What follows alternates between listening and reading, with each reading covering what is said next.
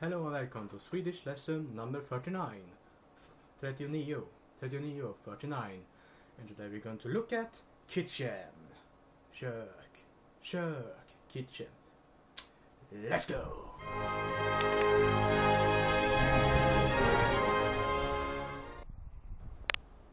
Stove. Spis, spis, stove. Microwave.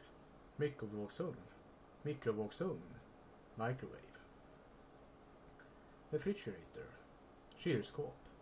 Kylskåp. Refrigerator. Vi kan också kalla det fridge. Fridge. Kylskåp. Kylskåp. Fridge. Freezer. Freeze. Freeze. Freezer. Dishwasher. Diskmaskin. Diskmaskin. Dishwasher. Toaster. Brödrost. Brödrost. Toaster. Oven. Ugn. Ugn. Oven. Frying pan.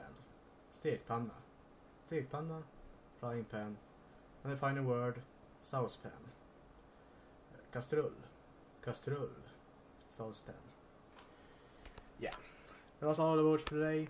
There are plenty much more, but I took those I felt like the most important actually. So yeah. Hope to next time. That's all for today, folks.